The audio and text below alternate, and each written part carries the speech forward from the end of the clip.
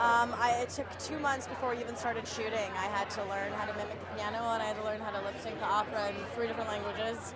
Um, and it was the yeah, it was the hardest thing I've ever ever had to do.